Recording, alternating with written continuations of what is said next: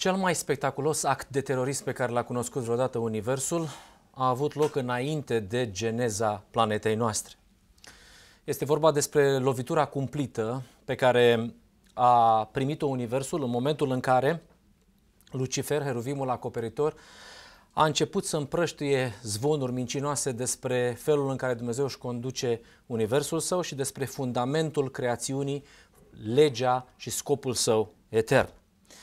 El uh, a avut susținerea miliardelor de îngeri care au semnat această petiție și care de fapt spunea că prin locuirea Duhului Sfânt în mintea lor ar însemna un sistem de control la care ei sunt stopați să nu ajungă niciodată pe muntele uh, Dumnezeilor, pe muntele adunării Dumnezeilor.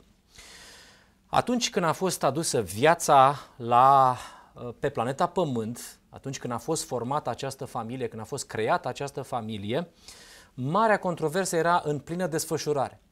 Este, ca să spunem așa, în termeni metaforici, Dumnezeu năștea o nouă familie, dădea naștere la o nouă familie în timpul celui mai mare război care a existat vreodată în universul acesta și care există, nu e la, termen, nu e la timpul trecut. E greu și în lumea umană în momentul în care dai naștere în timpul războiului unui, unor copii. Ei, familia aceasta este foarte important de înțeles că a apărut în timpul în care această mare controversă era în plină desfășurare, iar cohortele de îngeri umblau pe la fiecare planetă în parte pentru a le spune oamenilor despre descoperirea pe care au făcut-o. Erau cu siguranță hotărâți să termine cu această guvernare a lui Dumnezeu și cu cât se adunau mai mulți, cu atât Universul lui Dumnezeu era zguduit pur și simplu de lucrarea și de campania electorală pe care o făceau pentru Heruvimul acoperitor, pentru Lucifer. Ei, în contextul acesta, familia omenească a fost și ea născută, a fost și ea creată, ca să spunem așa. Dar familia lui Dumnezeu, Adam și Eva, au fost creați după scopul etern al lui Dumnezeu adică ca și temple în care să locuiască Duhul lui Dumnezeu, bazat pe definiția din Hristos Lumina Lumii 161. Observați vastitatea, de la serafimul luminos și sfânt până la om. Ei, în timpul războiului, în timpul controversei, Dumnezeu aduce familia omenească la existență. De aici reacția diavolului care spune cam așa. Adică, Doamne, noi avem miliarde de petiționari care au și experimentat retragerea părtășiei de natură divină și tu creezi o nouă familie, de o nouă ordine în univers, așa spune sora White. Familia omenească este de o nouă ordine în univers. Tu creezi o nouă familie în univers după legea pe care o contestă cel puțin o treime dintre îngeri și celelalte două treimi stau cu întrebări foarte importante despre exact aceeași lege. Cum e posibil să creezi o nouă familie după principiul și după legea și după rebeliunea pe care noi o arătăm și o dovedim? De aceea se spune, vai de voi pământ și mare, pentru că diavolul, asta înseamnă că n-a fost invitat, înseamnă că, cu alte cuvinte, uh, Doamne, uh, suntem miliarde și tu mai creezi o familie ca ce? Să dovedești ce? Tot după scopul tău.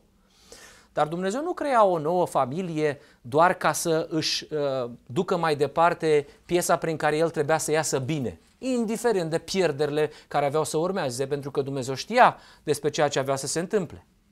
Nu, ci Dumnezeu, de fapt, dovedea prin această nouă familie din Eden că nu există altă cale și că este singura cale către pace, către părtășie, către neprihănire, către viață eternă. Nu există altceva.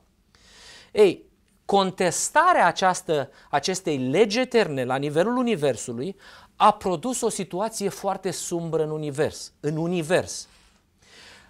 Contestarea locuirii Duhului Sfânt de la Serafimul Luminos și Sfânt și în familia creată Adam și Eva în cazul nostru. Toate planetele care există în Universul lui Dumnezeu au fost, faț- au fost puse față în față cu această decizie. Adică am putea să spunem că pe fiecare planetă locuită au apărut cei doi pomi aflați în conflict. Aici noi vorbim despre concepte foarte importante. În felul în care descoperim Scriptura, noi aflăm despre doi pomi. Și Dumnezeu a trebuit să comunice copiilor săi din toate timpurile, pe o perioadă de mii de ani, adevăratele aspecte care au avut loc în marea controversă, pentru că ceva care a început în cer și trebuie să se termine pe pământul acesta, readus la scopul etern al lui Dumnezeu, trebuie neapărat să fie bine înțeles de la început. Și Dumnezeu a avut posibilitatea să vorbească concepte de o adâncime cât universul, că vorbim de scopul său etern și de fundamentul creațiunii, în elemente, în ilustrații, în metafore, în idei care să conțină în ele vastitatea unor concepte extraordinare. Și cel mai bine s-a făcut prin prezentarea unor ilustrații, a unor pilde, în care, de exemplu, a pus cele două soluții, soluția lui Dumnezeu sau fundamentul creației lui Dumnezeu în întregul univers și oferta lui satana. Și a pus metaforic explicația aceasta în scriptură prin prezența doi pomi. Asta nu înseamnă nici că pe pământ Dumnezeu a trebuit să dea naștere la doi pomi și testul s-a făcut într-o alegere din aceasta de ordin fizic, așa cum este exprimată metaforic, nici pe Pământ și nici pe celelalte planete. Adică au apărut doi pomi în sensul că Dumnezeu a trebuit să-și informeze întregul universul și toate celelalte planete necăzute în păcat care erau după scopul etern al lui Dumnezeu. Mergeau după legea aceasta în care Duhul lui Dumnezeu locuia în fiecare dintre ei.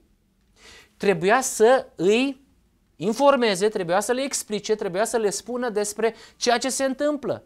O treime din guvernare, o treime, nu din guvernare, o treime dintre cei care erau cei mai apropiați de Dumnezeu, de îngeri, au contestat în, funcție, în frunte cu lui, lui Herovimul acoperitor această lege a creațiunii. Chiar un autor drag nouă, Donald K. Short, spunea în felul următor. El zicea, Vechiul Testament este o colecție de pilde despre adevăratele aspecte ale marii controverse. Și oamenii ar putea să spună, și cum adică nu s-au întâmplat lucrurile acestea? Nu, bineînțeles că nu. Adică bineînțeles că cerul era fizic și era adevărat. Bineînțeles că pământul care l-a creat Dumnezeu era fizic și era adevărat. Dar atât de mult n-am înțeles elementele reale și atât de mult am pierdut elementele simbolice încât n-am înțeles marea controversă. Adică cum era mai ușor ca Dumnezeu să comunice planetei Pământ timp de generații până în secolul 21 și având în vedere de când s-a scris Scriptura de peste 4000 de ani, cum să le comunici aceste concepte? Le pui în metafore. Din punctul acesta de vedere, Moise scrie, cum se spune în limba engleză, the state of the art. Adică Dumnezeu, Duhul lui Dumnezeu l-a condus să scrie într-un limbaj care a rămas valabil în toate generațiile, care, face, uh, care aduce lumină și la un copil, și la un om matur, și la un profesor de teologie, și la un inginer, și la ce vreți dumneavoastră. Nu contează. Aceeași imagine conține în ea simplitatea exprimării conceptelor lui Dumnezeu, care le poate pricepe un copil, și adâncimea conceptelor pe care le poate pricepe și cel mai uh, informat om de pe planeta Pământ, sub aspectul acesta al lumii noastre. Lumile necăzute, prin definiție, au fost conștiente de ceea ce se întâmplă în Universul lui Dumnezeu. Dumnezeu nu a creat un gulag acolo lângă tronul său, acolo de unde a început rebeliunea și a ținut totul foarte mascat și foarte închis, pentru că asta ar însemna să intre în contradicție cu cine este Dumnezeu. Dacă el respectă libertatea de alegere, a mers la fiecare dintre aceste planete și le-a spus, în guvernul nostru a apărut o problemă foarte gravă. Eu vă spun că dacă, vă, ă, dacă retrag părtășia de natură divină, scopul meu etern, locuirea Duhului Sfânt, muriți! Aveți libertatea să ascultați ce spune celălalt ce spune satana împotrivitorul tatăl minciunii. El vă va spune exact opusul și el vă va spune că eu vă stopez. Aveți libertatea să gândiți. De asta se spune că celelalte planete n-au căzut. Nu în sensul că acolo au fost doi pomi și a fost acolo și un Adam și o Eva sau ce-o fi fost, că e de o altă ordine, nu știm prea multe informații, dar ne dăm seama din marea, uh, marele context cam cum au, s-au derulat lucrurile. Dumnezeu a promis un lucru. Nu că l-a promis, el așa este. El nu poate să fie altfel. În momentul în care el are ființe inteligente și morale, el, se, el respectă libertatea de alegere și le spune în felul următor. Satana are toată libertatea să vină să vă prezinte programul lui de, de conducere a Universului.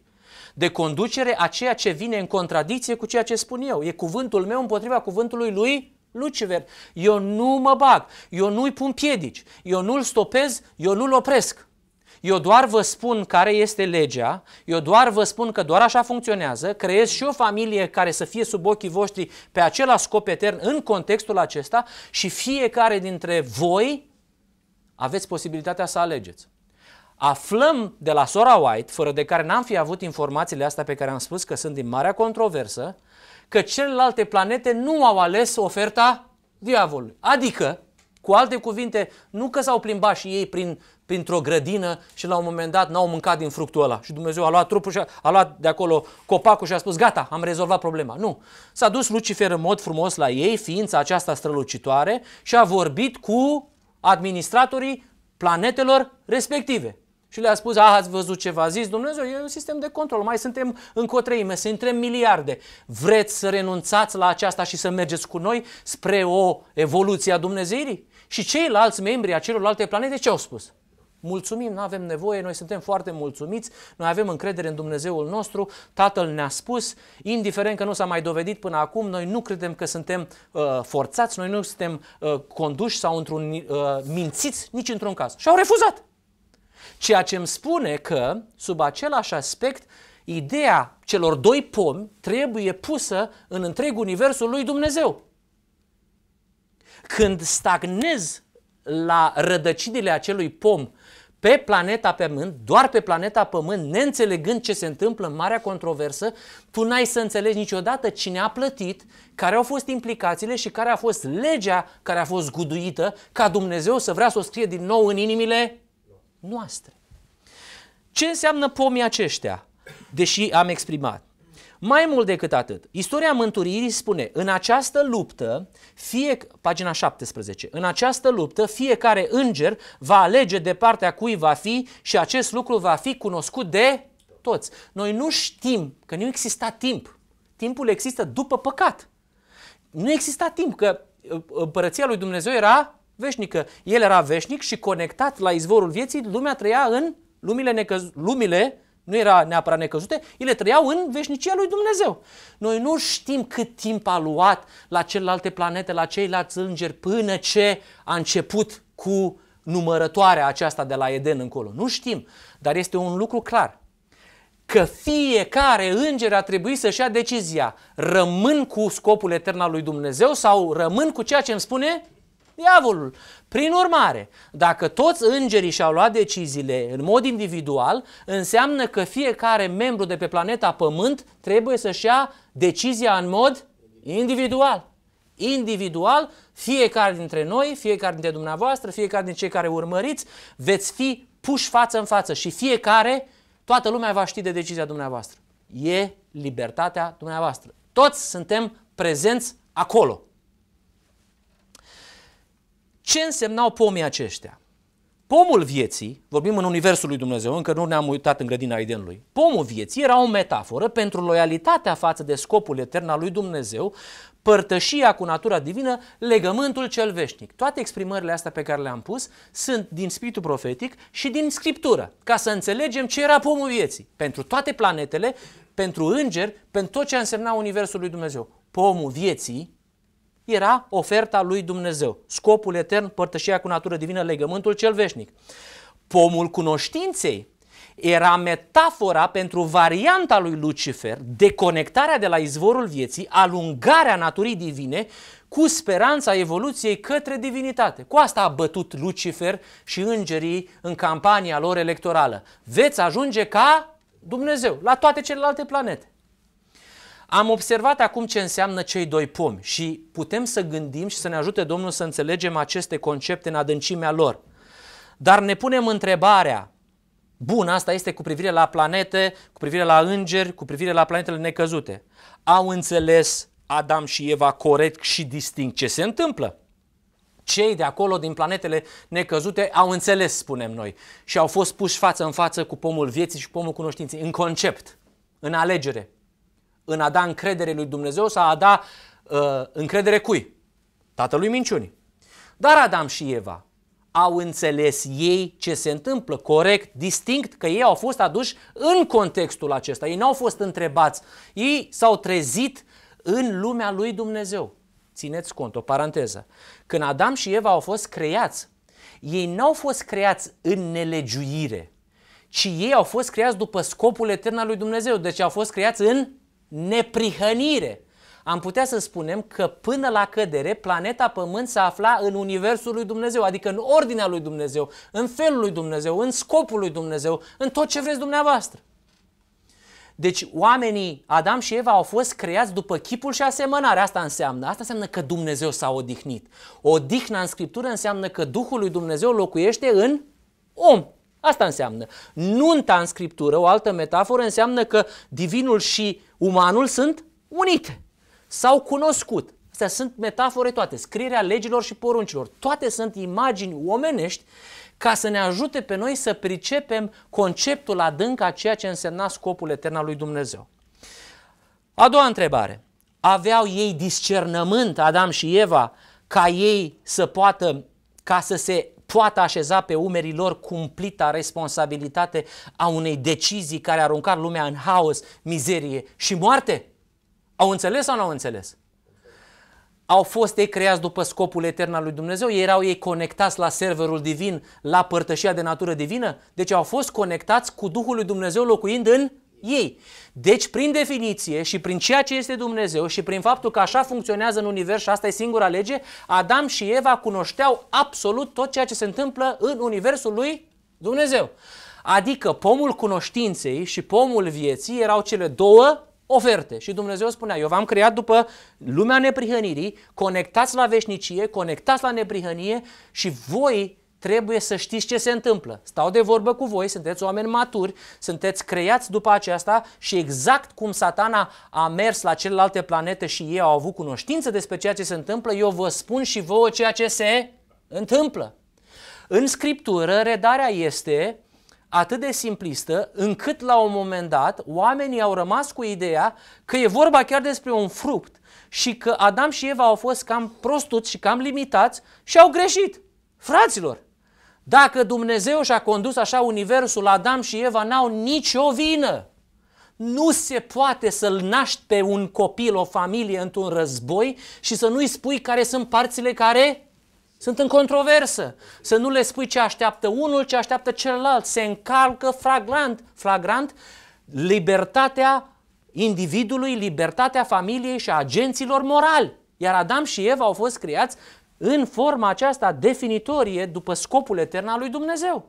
Au înțeles, au știut, au ales și la ei a venit și ei of, la ei au venit și, și la ei au venit oferta și Dumnezeu a pus-o în scriptură sub informația, sub parabola, sub pilda, sub metafora, sub ilustrația unei imagini în care s-a ales între ce spune Dumnezeu și ceea ce spune Lucifer, cu toate implicațiile respective. Ei, dacă am înțeles aceste concepte importante, de exemplu pomul cunoștinței și pomul vieții, și l-am înțeles în contextul cel mare al marii controverse, care ar mai fi înțelesul celorlalte pilde? Că acum toată Scriptura prinde cu totul și cu totul un alt sens. Asta nu înseamnă că nu e realitate, că nu s-au întâmplat. Nici pe departe. Lumea a fost creată în șapte zile, după chipul și asemănarea. Nu vorbim despre ere geologice, nu vorbim de nimic de genul acesta. Paranteză. Observați că tactica diavolului a funcționat totdeauna. Lasă-i pe oameni să piardă din vedere contextul cel mare și să se ocupe de o bucățică dintr-o fotografie. Dumnezeu spune, Let me, lasă-mă să-ți arăt the big picture, ca era să o iau în limba engleză, the big picture, că înțelegeți, marele context și noi ne-am luat de o anumită bucățică. De exemplu, cine a fost primul? Adam care a mușcat din fruct sau Eva? Oh, Eva, dar din ce cauză? Pentru că spune sora White că nu era lângă soțul ei. Ba nu, spune că era lângă soțul ei. Oh, înseamnă că ea este de vină. Și observați cum bucățica aceasta care a creat totdeauna separat uh, idei, reacții, a pierdut din vedere, deci te-ai uitat la degețelul dintr-o fotografie și ai pierdut din vedere ce? Marele context. Și satana așa a făcut și la Minneapolis. Dumnezeu a vrut să le spună scopul meu etern este marea zi spășirii, reîntoarcerea părtășiei și vreau să vă arăt că legea este un îndrumător și ei au spus care lege? Adică hai să luăm bucățica aia din imagine și să ne luptăm pe ea și satana a știut. Când îi duc pe o linie greșită și ei își irosesc toate energiile acolo unde nu trebuie, pierd din vedere ce? Dacă pui aproape o fotografie, ce se întâmplă cu ea? Pui o fotografie aproape și te uiți așa, ce se întâmplă? Vezi puțin, dar ce pierzi?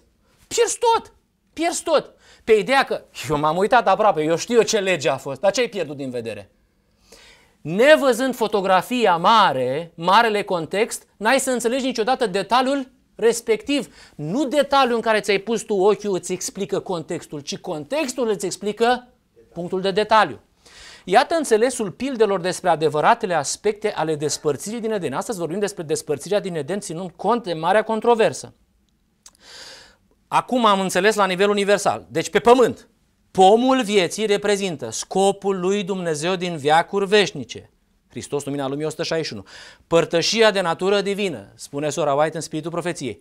Conexiunea la isforul vieții, exprimare care să fac să putem să o pricepem noi cei din secolul 21 care înțelegem termenii ăștia. Singura cale spre viață eternă, se exprima Domnul Isus Hristos. Asta era pomul vieții. Mai departe. Acum înțelegem simbolurile. Pomul cunoștinței reprezintă noile propuneri ale lui Satana, că despărțirea de natura divină ar aduce la libertate și la loc asigurat pe muntele adunării Dumnezeilor la capătul miazei noapte. Veți fi ca Dumnezeu. El însemna deconectarea, despărțirea de natura divină, alungarea șechinei din templul inimii, eliberarea lui de prezența divină. Asta era pomul și oferta satanei. Cu asta se conduce planeta Pământ de 6000 de ani și asta însemna realitatea pe care Adam și Eva au priceput-o cum? Au priceput-o foarte bine. Nu vorbim despre consecințe, că ei n-au văzut și n-au experimentat, nici îngerii n-au experimentat, nimeni de pe planeta Pământ n-a experimentat niciodată ce înseamnă consecințele deconectării, pentru că nimeni n-a mai cerut niciodată ce?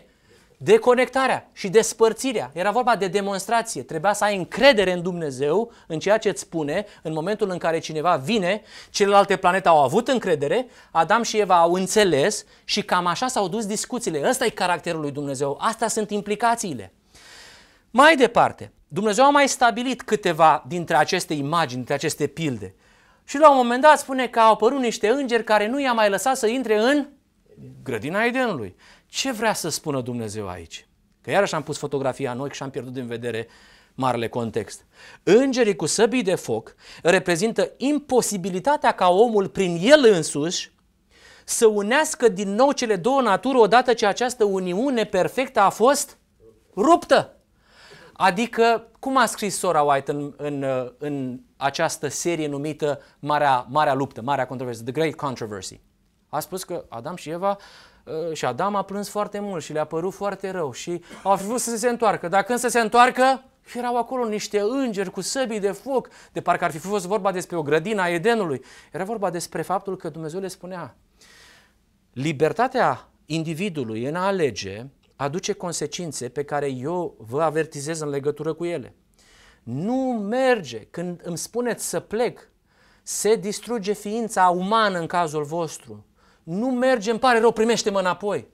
Este o decizie în cunoștință de cauză care necesită conștientizarea și responsabilitatea totală pentru că din partea mea eu nu pot să-mi conduc universul altfel pentru că eu sunt un Dumnezeu moral al iubirii care vă explic, vă avertizez și vă spun. Nu merge pe ideea că am greșit, Doamne. Nu merge. Ei au avut o discuție, ei au avut o întâlnire și îngerii cu săbii de foc reprezenta imposibilitatea ca omul să mai poată să unească. Nu se mai putea, nu era o lucrare umană. A fost o imposibilitate, nu o rea voință din partea lui Dumnezeu. Subliniez. A fost o imposibilitate, adică altă șansă și altă cale nu exista. Nu rea voință, lasă că vă arăt eu din cauza că nu m-ați ascultat. Când cele două naturi se despart, calea înapoi spre pomul vieții este anihilată. Ai dat foc la pod și nu poți să te mai întorci. Nu se mai poate face, e distrusă. Singura posibilitate este intervenția puterii creatoare a lui Dumnezeu, Dumnezeu care spune și creează, numai El poate să recreeze această posibilitate pe care Adam și Eva au rupt-o. Mai departe, alte pilde. Șarpele. La șarpe e mai ușor. Că noi am zis, pom sunt. Da, șarpele care zbura. Și am auzit și predici la pastor și, la, uh, și înțeleg. Da, era un șarpe și pune ei un șarpe care zbura și s-a folosit de el. Nu, fraților. Șarpele este balaurul, șarpele cel vechi, împăratul Babilonului și al Tirului, liderul noii lume în război cu Creatorul, marele manipulator, manipulator lingvistic care a înhămat omenirea spre țelul imposibil de a crea pomul vieții în laborator.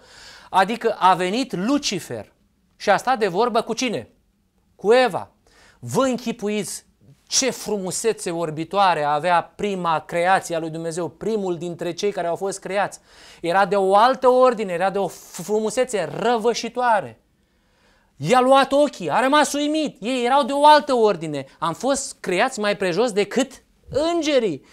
Și bineînțeles că era un șarpe și Apocalips ne spune șarpele este diavolul Diavolul cel vechi. Și bineînțeles că zbura, că îngerii zboară. Era o metaforă și o ilustrație ca să înțelegem că Eva s-a așezat la masa discuțiilor cu domnul Lucifer, devenit împotrivitorul. Era extraordinar când el a, i s-a retras părtășia de natură divină, toate darurile pe care Dumnezeu i le-a dat la început lui Lucifer, nu i le-a luat Dumnezeu din cauza asta. A rămas cu aceleași trăsături. Dumnezeu nu face așa ceva. Când ți le dă, rămân, ele sunt afectate în timp că împărtășia de natură divină se retrage. Dar ăștia sunt, îngerii sunt de o altă ordine. Oricum, acolo la început au stat de vorbă. Așa cum Dumnezeu i-a explicat punctul, a ajuns să guste din fruct. Adică Lucifer i-a spus, Eva, nu sunt singur în această univers al lui Dumnezeu. Miliarde. Și știi că îi câștigi ușor pe oameni când le spui, nu sunt doar eu singur care susțin treaba asta. Știți câți am care văd lucrurile ca și mine? Miliarde. Miliarde. Nu a fost drept din partea lui Dumnezeu să vă creeze fără să vă întrebe. Vă stopează. Oh, sunteți voi foarte mulțumiți că v-a făcut după chipul asemănarea, dar știți că fără Duhul lui Dumnezeu vă spune că muriți. Adică cum să muriți? Și bineînțeles că Eva a fost pur, pur și simplu uimită de prezentarea lui Lucifer. Înțelegea, el sigila neprihănirea, înțelegea cum lucrează, era un manipulator, știa cum să vorbească, știa cum să prezinte. Până atunci nu exista minciună, nu exista vorbă cu două înțelesuri, nu exista nimic. Și stau de vorbă două persoane și a treia lipsește și spui despre a treia persoană, care de fapt nu lipsește, că este un mincinos. Și în momentul acesta, ei au fost puși față în față cu aceasta. Ca să înțelegem noi și o să mai dezvoltăm, Dumnezeu le spunea, îi avertizase, vei muri negreșit. Noi trebuie să înțelegem mult mai mult.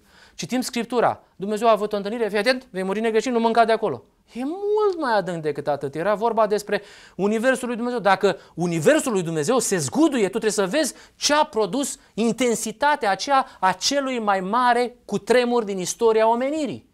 Tragedia veacurilor. E o simplă discuție, o simplă mușcătură dintr-un fruct sau sunt concepte extrem de importante?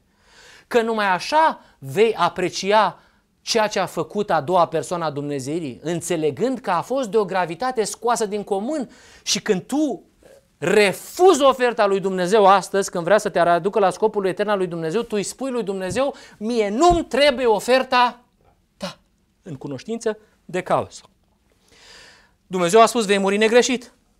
Dar diavolul a venit și a spus, hotărât că nu veți muri. De atunci omenirea este sfâșiată între aceste două păreri cu infinitele lor variante. A pus fotografia unde? Fiecare la ochișorul lui. Unul a văzut o bucată, unul a văzut o bucată, unul a văzut o bucată, unul a văzut o bucată și a trebuit sora White să explice a trebuit Dumnezeu prin sora White să explice marele, marea controversă în șase volume când ea scria despre marea controversă, exact cum reacționați dumneavoastră care spuneți astăzi, dar de unde ai luat informațiile astea?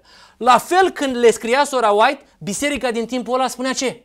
Dar de unde ai luat informațiile astea? Și ea spunea, mi l-a descoperit Dumnezeu. Și uh, unii spuneau, eh, ți l-a descoperit Dumnezeu. Ți l-a descoperit alt, altul. Și alți oameni ce spuneau? Imposibil. Sunt de la Dumnezeu. Nu știu, dar sunt de la Dumnezeu. Dumnezeu le spunea, veți muri. Nu există altă posibilitate. Diavolul i-a spus, nu veți muri. Și atunci a început ceea ce în lumea științei uh, numim proba sau numim demonstrația. Știți că noi spunem că dacă se demonstrează ceva în știință, înseamnă că acel lucru este veridic și este adevărat. Și prima demonstrație a orbitoarei ființe, Lucifer. Păi Lucifer, la sfârșitul timpului, va avea posibilitatea să apară ca un înger de lumină după câte mii de ani? Ca să, să arate și să ducă în ispită pe oameni că el vine la a doua venire. Vă închipuiți că el nu și-a pierdut din aceste capacități. El a pus acum cu coarne, cu furca, cu roșu, cu ce vreți dumneavoastră, cu cazanul, cu smoala. Dar el a rămas aceeași ființă și cu cât lumea crede că el este o ființă de genul acesta, când va apărea îngerul de lumină, lumea cum va face? Gata, l-am așteptat! L-am așteptat, ăsta -i neînțelegând scopul etern al lui Dumnezeu, spunând, neînțelegând pildele. Păi ei pilda fecioarelor, ei pildele din Scriptură, ei pildele din Vechiul Testament, ei pildele din Noul Testament. Și ai pierdut din vedere scopul etern al lui Dumnezeu, Marea Zei Spășirii. Și normal că poporul lui Dumnezeu va fi primul care va fi păcălit. El lucrează cu, același, cu aceeași formă. Dumnezeu îi spunea, veți muri. Unde mai găsești în Scriptură veți muri? Ca să înțelegi un concept sau un verset din Scriptură, trebuie să te mai duci în altă parte. Unde mai scrie ideea aceasta că veți muri? În Roman 6 cu 23. Plata păcatului este moartea. Plata cui? Cine ucide? Păcatul. Spune, plata lui Dumnezeu este moartea, pentru că nu ați ascultat. Spune plata păcatului și noi când spunem că păcatul ucide, fără părtășia de natură divină, în momentul acela intri în păcat, intri în forma de păcătuire, de la înger până la om, că așa cum definiția scopului etern al lui Dumnezeu se amplifică în momentul în care vrem să înțelegem ceea ce înseamnă părtășia de natură divină, în momentul în care se retrage divinitatea, atât îngerii cât și oamenii, despărțirea înseamnă păcat. Și forma aceasta de autonimicire și de exterminare, autoexterminare înseamnă ucide, adică păcatul își cere plata. Plata păcatului este moartea. Cam cum suna avertizarea lui Dumnezeu după toate aceste explicații ca să rămână și scris? Îi spunea Dumnezeu lui Adam și Eva, alegând să te desparți de izvorul vieții, eu sunt obligat să te părăsesc, în virtutea dreptului inalienabil la liberă alegere. Fără Duhul Sfânt locuind în minte, acesta nu mai poate împiedica degradarea morală a sufletului și degradarea fizică a organismului. Deci, retragerea mea vă va duce trupul vostru în degradare atât mentală cât și fizică. Nu vom mai putea împiedica degradarea morală a sufletului și degradarea fizică a organismului, chiar dacă eu vă asigur pentru o vreme supraviețuirea. Finalul acestei decizii este moartea veșnică. Despre ce moarte? Finalul, moartea veșnică, adică veți muri, fără niciun fel de intervenție de pedepsire din partea mea. Eu nu vă pedepsesc, eu nu uh, uh, vă vin și vă, vă dau peste față pentru că nu m-ați ascultat, eu nu vin să fac nicio formă. Când voi ați ales această ofertă a diavolului, intrați într-o degradare sub toate punctele de vedere și eu nu vă pedepsesc păcatul, care înseamnă despărțire, își va cere plata. Iar punctul final, ultima poartă, înseamnă moartea a, a doua. Ăsta e Dumnezeu. Asta sună avertizarea lui pe care a înțeles-o Adam și Eva. Minciuna diavolului, că la Dumnezeu a fost avertizare, dar la diavol a fost ce? Minciună. Sună cam așa. Imaginați-vă discuția. Dumnezeu vă minte. Vă amenință cu moartea spre a vă ține în robie. Ți-a spus că vei dispărea, nu? Vrea să vă țină în robie. El știe bine că unirea cu natura divină, prezența legii în inimă, este un sistem de control care vă împiedică să evoluați. Fiecare ființă creată este destinată să ajungă cu, ca Dumnezeu. Să se deschidă ochii și să vedeți binele și răul. Dar el nu dorește, dorește să piardă privilegiile de care se bucură, vrea să le ține doar pentru el. Și nici nu dorește să le împartă cu voi refuzați sistemul de control implantat în voi, părtășia de natură divină, și aveți cale liberă către muntele adunării Dumnezeilor la capătul miazei noaptei. Asta e tot. Uite dovada. Am murit eu? Am murit eu? Era uimită Eva de ce vedea în heruvimul strălucitor? cea mai strălucitoare ființă care a atras o treime, miliarde. Uimită. Ce a făcut diavolul? Tactica lui s-a numit în felul următor. Minciună, îndoială și a mai avut o tactică care dă roade astăzi extraordinar și pe care o aud la servitorii lui Dumnezeu. A schimbat avertizarea lui Dumnezeu în amenințare. Dumnezeu a spus, veți muri și satana a spus, vă omoară. Veți dispărea de moartea a doua, Dumnezeu pune punctul pe ei și vă omoară de moartea a doua. Eu nu mă bag, eu nu mai pot să mai fac nimic, nu există nicio posibilitate de întoarcere. Diavolul a spus, ba da, se poate. Ba da, se poate. Uite, la mine s-a putut. Uite, la noi s-a putut.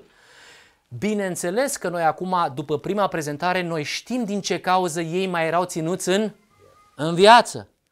Întrebarea este cum de s-a întâmplat că Adam și Eva au fost și ei ținut în viață după ce Dumnezeu le-a spus că veți muri, că de la ei noi ne ducem mai departe să înțelegem marea controversă și de la marea controversă ne întoarcem pe pământ și reglăm în așa fel focusul ca să înțelegem ce s-a întâmplat și care sunt adevăratele aspecte ale marii controverse. Ei, Adam și Eva au ales varianta diavolului despre marea controversă, cam așa cum a fost scris acolo, dar promisiunea lui s-a dovedit mincinoasă, evoluția spre Dumnezeire nu a demarat nicio clipă. Ei se așteptau că va fi bine, că vor fi ca Dumnezeu.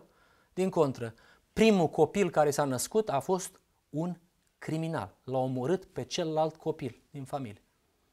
Degradare morală, degradare fizică. Nu în ce familie te-ai născut. Că, Cai, că personajul Cain nu s-a născut într-o familie cu uh, legi imorale. Adam și Eva au fost o familie credincioasă, dar aspect, afectată de păcat. Și copilul s-a născut cum? Nu influență, nu grup, nu școală, nu nimic. Când te desparți de natura divină, naști copii în nelegiuire. În nelegiuire. Adam și Eva nu au fost forțați să aleagă nelegiuirea, nici de diavol. Nu, nu se poate așa ceva. Ei au ales. Ei au ales. De fapt, ei n-au crezut. Deci lor nu li s-a spus nelegiuire și neprihănire. Asta este exprimarea noastră după ce am înțeles ce e nelegiuirea, că nelegiuire înseamnă nu e lege, nu? Ne nu este lege. Care lege? Legea lui Dumnezeu de a locui în fiecare ființă creată. Nu alegi legea lui Dumnezeu, automat intri în nelegiuire. Alegi legea lui Dumnezeu, automat scap de nelegiuire. Observați? De aceea când spunem că se unește omenescul cu divinul, te întorci la scopul lui Dumnezeu și trăiești automat în neprihănire. Când ești în neprihănire și nu alegi sistemul de conducere a lui Dumnezeu, trăiești în nelegiuire. Ei n-au înțeles că aleagă între nelegiuire și neprihănire.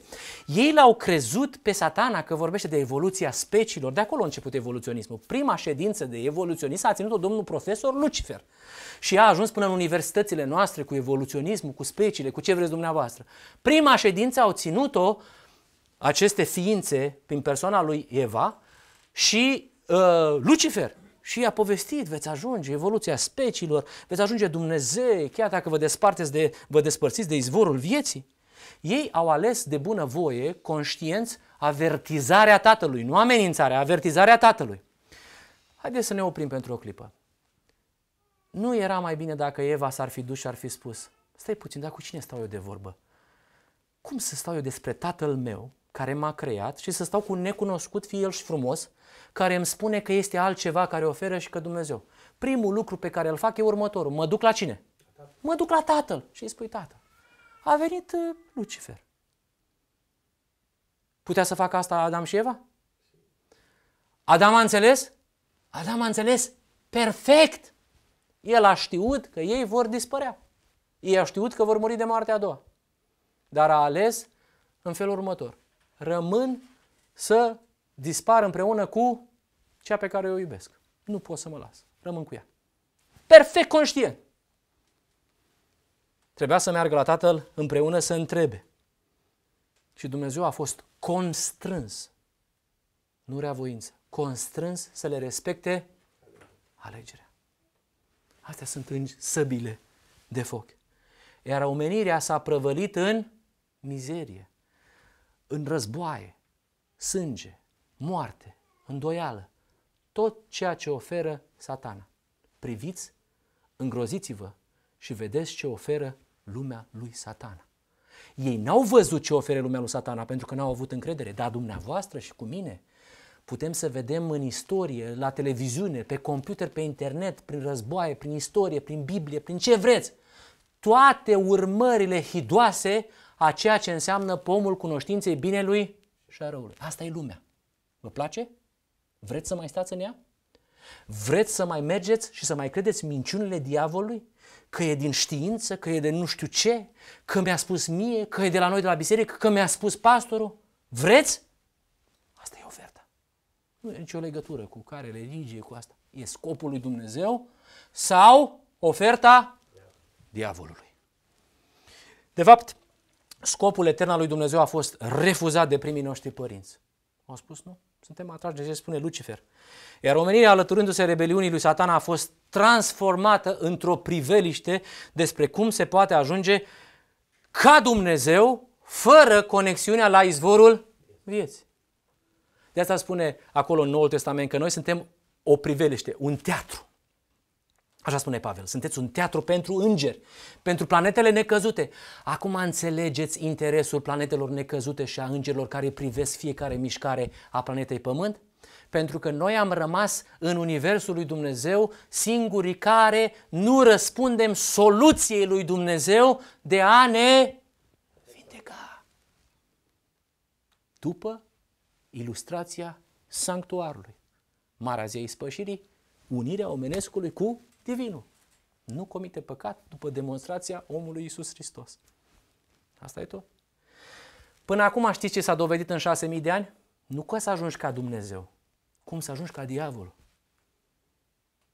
Nu ca să ajungi ca Dumnezeu. Până acum s-a dovedit cum poți în fiecare generație și în fiecare om să ajungi ca diavolul. Ne mai menținem noi cu decizii morale, cu protecție din aceasta, cu ceea ce mai arătăm că noi jucăm foarte bine. Unii dintre noi suntem morali așa și ținem anumite reguli. Alți dintre noi ne uh, protejăm foarte bine, că ieșim în public, ne comportăm frumos, vorbim. Dar noi știm cu adevărat ce ne poate capul și dacă n-ar fi educația, încrederea aceasta, uh, uh, cultura, toate lucrurile astea care sunt bune într-o lume în care Dumnezeu le-a dat ca să te descurci în lumea nelegiuirii, dar în problema păcatului, educația, cultura, până și voința, nu pot să ajungă decât. Deloc. De asta a spus Sora White. Educația, cultura, voința, în privința păcatului, nu pot ajuta deloc. Adică a crea un om pregătit pentru împărăția lui Dumnezeu pentru că el este moral și ține în literă legile, că în spirit ce se întâmplă cu ele? Sunt călcate toate.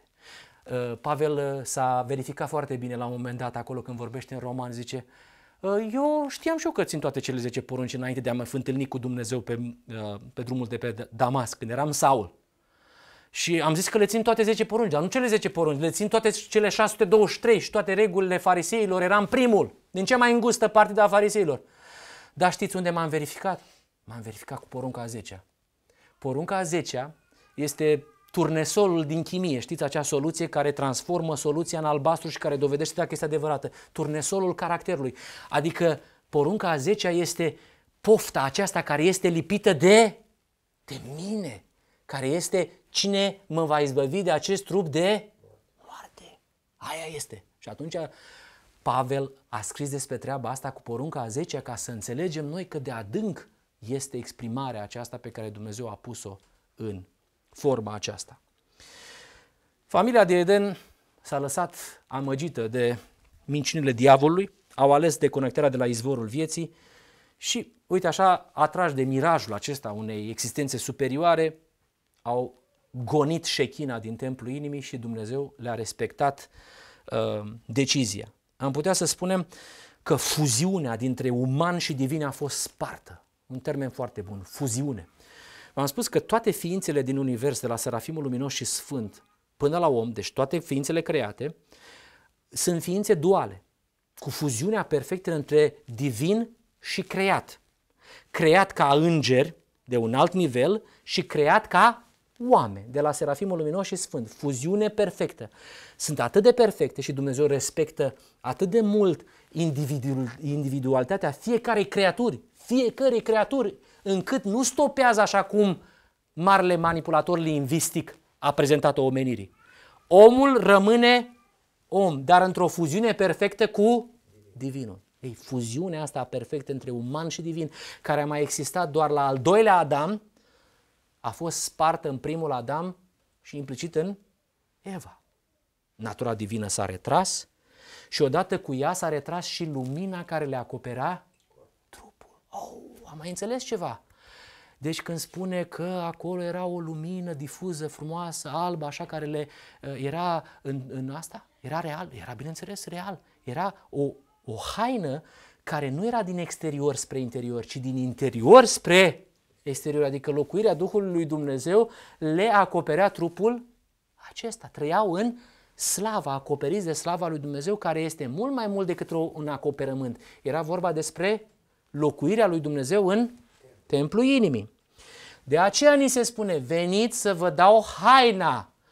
Tu nu știi că nu ai haină. Care haină? Aia pe care ai pierdut-o când s-a spart fuziunea dintre divin și uman. Fără sistem de operare și fără veșminte fizice, haina neprihănirii am putea să spunem că s-a volatilizat instantaneu. S-a dus. Am gonit-o. Reacția a fost rușine. Reacția a fost uh, ce o să facem în momentul acesta. Și vă amintiți cum au adunat ce?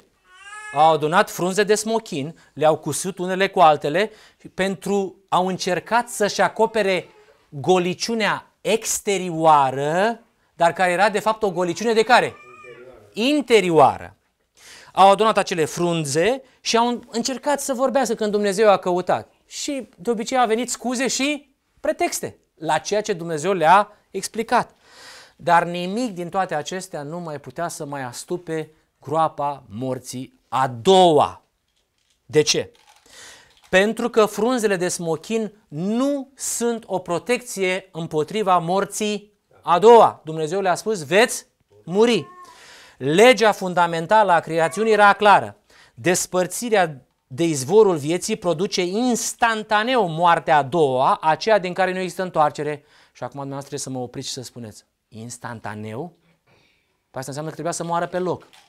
Dar noi acum ce informații avem din partea marii controverse de data trecută? Cine acoperise groapa morții a doua? Cine? Mielul lui Dumnezeu, a doua persoană a Dumnezeirii, cuvântul care a fost junghiat de la întemeierea lumii. Fraților, astăzi când auziți oameni care explică că această tragedie s-a, s-a rezolvat printr-o semnătură, oamenii ăștia n-au înțeles ce înseamnă despărțire de natură divină și astăzi poporul lui Dumnezeu zace într-o orbire gravă. Problema asta nu se rezolva printr-o semnătură în care Dumnezeu spunea celorlalte planete că ei toți au fost puși față în față cu distrugerea legii sau cu moartea legiuitorului printr-o semnătură cum că peste 2000 de ani cineva o să moară, dar nu o să moară, o să se odihnească și ea va ajuta ca să acopere groapa morții. Nu printr-o semnătură, nu printr-un act juridic, nu printr-o chestiune legislativă în care Dumnezeu spune îl voi trimite pe fiul meu, voi face eu acolo, voi plăti plata și noi zicem, păi cui a plătit plata? Că uh, cel care a cerut-o cine a fost? Lucifer, o fi stat de vorbă, i-o fi plătit. Cum s-a fi întâmplat treaba asta? Și trebuie înțelese foarte serios. În momentul acela, Adam și Eva n-au murit din cauza că deja cineva moar, murise de moartea a doua. Așa cum îngerii în frunte cu Lucifer erau ținuți în viață pe prețul incomensurabil care nu mai poate fi reversibil niciodată, la fel Adam și Eva s-au născut în timpul în care cineva murise ca ei să rămână în viață. În momentul în care Dumnezeu le-a spus despre miel le spunea, voi astăzi sunteți în viață, adică ei știau de dinainte. Eu sunt sigur că ei știau. Nu se poate ca Dumnezeu să nu le fi spus, vezi cu ce preț voi astăzi veți alege programul, că deja a începuse marea controversă, vedeți cu ce preț. Și Dumnezeu ce, fapt, ce i-a spus lui Adam? I-a spus, voi trebuie să vă amintiți totdeauna. La ora actuală, voi sunteți ținuți în viață pentru o clipă. Eu nu pot să mai stopez aspectul acesta al degradării, din cauză că cineva a murit ca voi să puteți să trăiți de moartea, de, de viața aceasta despărțită de Dumnezeu. Despărțită de Dumnezeu. În felul acesta, de fapt, Adam trebuia să priceapă. De aceea Cain spune că n-a adus o jerfă. Adică el ce a spus? Și ce nu mai pot eu că a murit? Cine mai spusese așa? Cine mai spusese așa? Îngerii cei răi și cu satana care a spus eu nu cred că va muri persoana a doua Dumnezeirii de moartea a doua. Eu cred că Dumnezeu va face un compromis și mă va lasa pe mine să ajung eu pe muntele Dumnezeilor acolo. Ei sunt batjocoritorii. Asta e, ca, ca, asta e calea lui Cain. Omenirea întreagă va ajunge ori la jertfa lui Cain, care va spune, nu cred eu, domnule, așa ceva. Auzi, așa ceva nu s-a mai auzit niciodată. Și sunt oameni care vor înțelege marea controversă, vor înțelege adevăratele aspecte, vor înțelege ce înseamnă solia îngerului al treilea și vor spune, Doamne, mă cutremur și accept soluția ta și cu credincioșie voi avea încredere în ceea ce îmi spui. Până la capăt. Ei, fraților, așa s-a produs în Eden divorțul acesta dintre natura umană și natura divină. De asta vorbim despre un divorț în Eden și o nuntă în Apocalipsa. Un divorț în Geneza și o rezolvare a lui Dumnezeu în Apocalipsa. Divorț, nuntă poftiți, totul este gata, veniți la nuntă.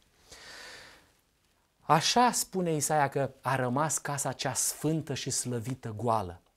Și a rămas pustie și a devenit mintea umană laboratorul acestor duhuri necurate. De aceea spune Pavel, Doamne, au intrat ca sălbaticii în templul tău, cu topoare. Adică mintea umană, creația lui Dumnezeu, separată de divinitate, a ajuns să fie condusă de legea păcatului și a morții. Moarte, suferință, mândrie, egoism, răutate și tot ceea ce vedeți, după chipul și asemănarea diavolului. Iar ca astăzi poporul lui Dumnezeu să încearcă să ajungă după chipul lui Dumnezeu, după oferta pomului cunoștinței binelui și a răului, înseamnă frunze de smochin și dă peste nas martorului credincios care spune că trebuie să ți le dau eu, la Odiceea și conducători care stopați aceasta. E tragic. Omenirea a văzut ce înseamnă moarte, a văzut ce înseamnă păcat și uite de acolo, fraților, a izbucnit infernul. Infernul a izbucnit din paradis, am putea să spunem. Că din paradis a început. Și uite, moartea a doua a lovit exact centrul Universului. Noi am resimțit unda seismică până la planeta Pământ, până în timpul nostru.